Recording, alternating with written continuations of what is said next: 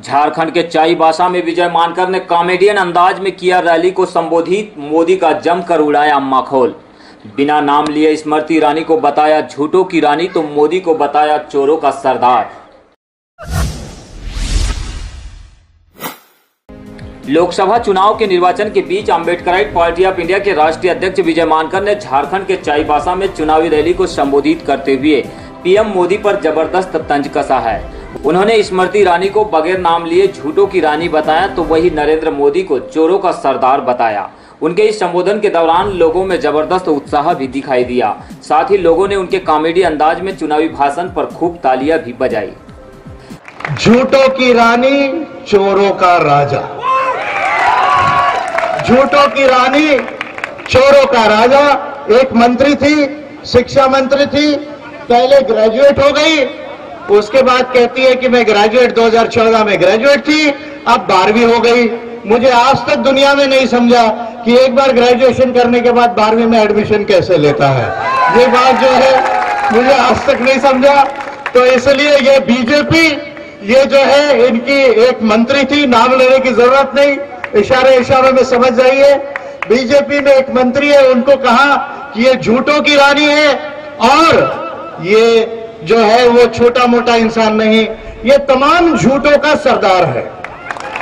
ये तमाम झूठों का सरदार है, तमाम झूठों का राजा है। विजय मानकर ने इसी कड़ी में कहा है कि पीएम मोदी कभी चौकीदार बन जाते हैं तो कभी चाय वाला तो कभी पकोड़े वाला। लेकिन वे अभी तक ये डिसाइड नहीं कर पा रहे हैं कि वे है कौन।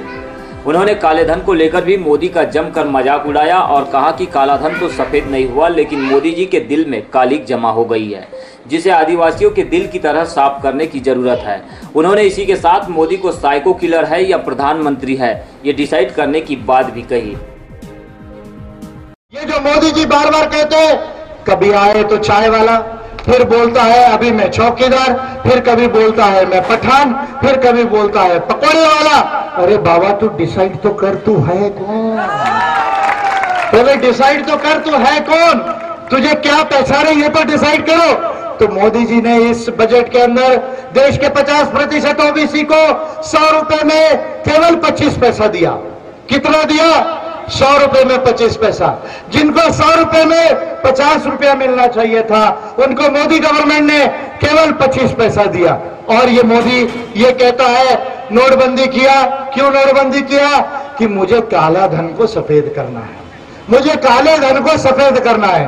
अरे, पहले तो आपके छप्पन इंच के सीने के दिल में इतनी कालक जो भरी हुई है, उसको आदिवासियों की तरह दिल को साफ़ तो कर लो मोदी जी।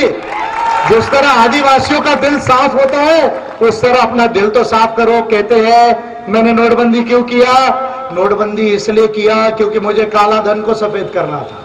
फिर कहते हैं, पड़ोसी देश अगर आग दिखाएगा तो गोली का जवाब बम से जाएगा ये किसकी भाषा है?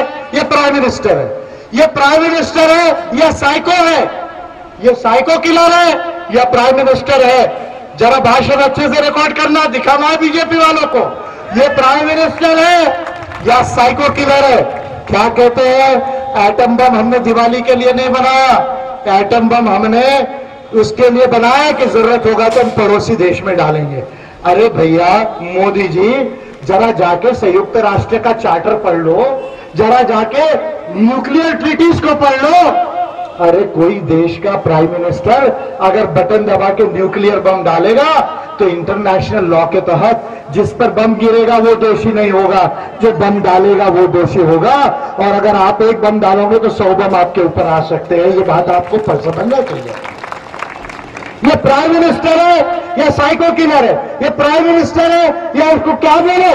दुनिया की डिक्शनरी में जितने गलत शब्द है, उसको भी इस्तेमाल करो तो कम है इस आदमी के लिए। कहते हैं कि मैं पड़ोसी देश में सर्जिकल स्ट्राइक करूँगा। मेरा सीना छप्पन इंच का है भैया, ललित मोदी, नीरव मोदी चौकसी भाई संदेशिया विजय मालिया, जब लाखों करोड़ रुपया लेकर भाग गए, तब आपका सीना क्या ज़ीरो इंच का हो गया?